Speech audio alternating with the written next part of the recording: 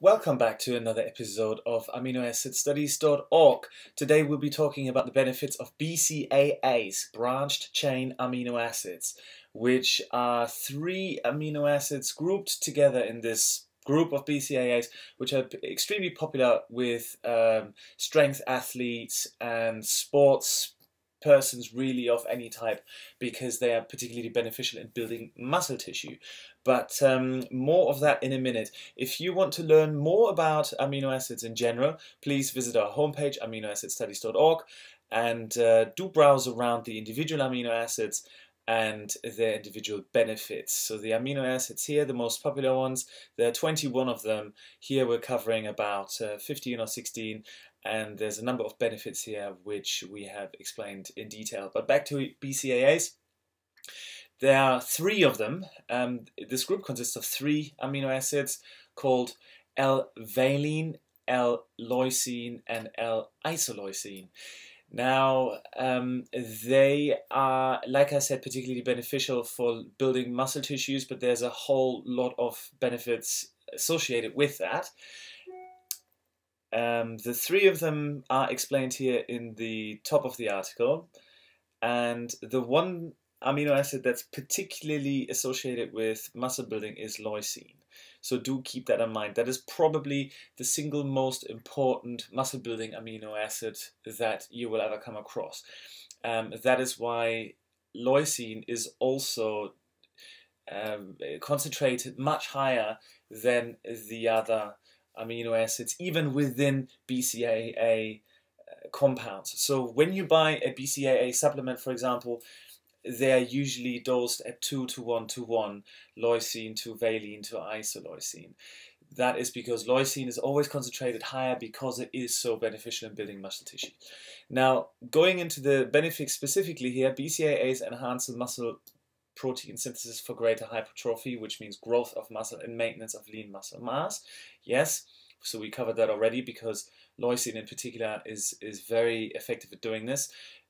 Going further, leucine enriched BCAAs makes this enhanced muscle building for older trainees. So because you are giving your body the nutrients to build muscle tissue specifically, uh, this benefits more older trainees than younger trainees just because older people tend to lose muscle tissue uh, faster statistically than younger people. Very simple stuff. BCAAs increase fat burning, again, leucine and glucose tolerance, isoleucine for leaner body composition. So the uh, glucose tolerance is very interesting because this also reduces your risk of um, diabetes. We'll cover that in a minute. BCAAs improve hormone balance for greater strength, power, and endurance because they increase testosterone.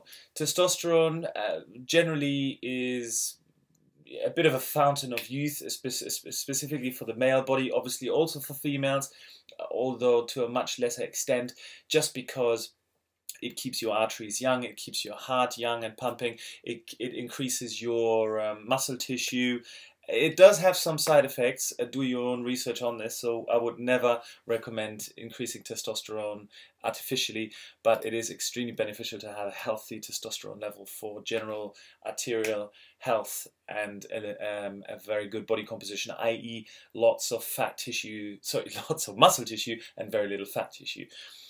Uh, BCAAs improve strength development. That is because if you do do strength training, BCAAs help you recover very much, which is covered in the next point. They increase strength endurance and decrease fatigue because they help elevate ATP levels, which is the most important energy molecule in the body. And uh, that's why you will have decreased fatigue. You'll be able to exercise longer, stronger, and more powerfully, which ultimately gives a stronger, more intense stimulus on, on the muscle and helps it to grow because you work it out more, which means you damage the muscle fibers, which means you recover stronger and you overcompensate in your recovery. Recovery that means you build muscle tissue um, as a result of that. It, in, in, it preserves the integrity of muscle fibers. It reduces muscle catabolism, yes, degradation, especially when you overtrain. Many, um, let's say, marathon athletes do this, or just people who go to the gym far too long and far too uh, often, they don't give their body the time to recover.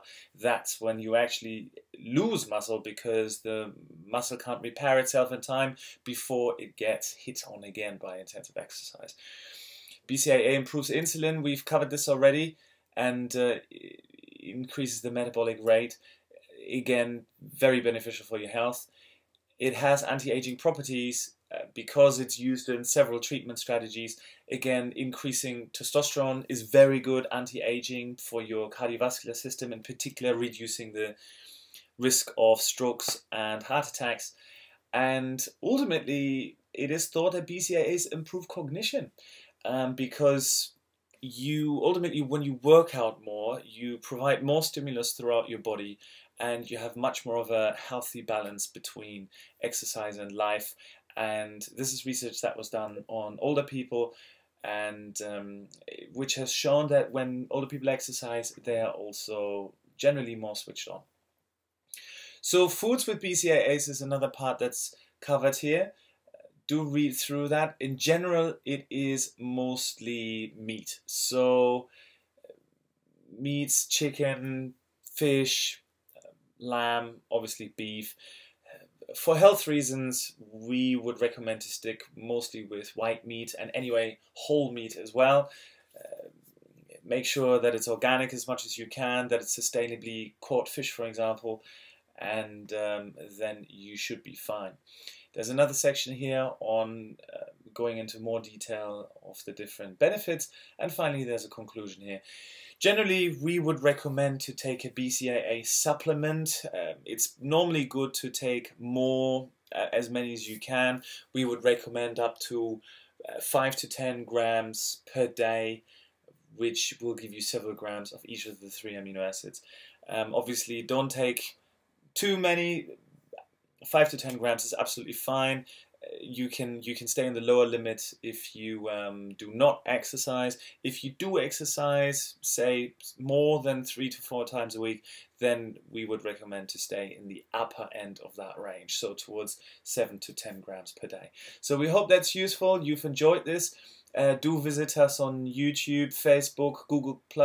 Have a look around the website. We hope you've benefited. Thank you very much. Stay healthy, and we'll see you in the next episode.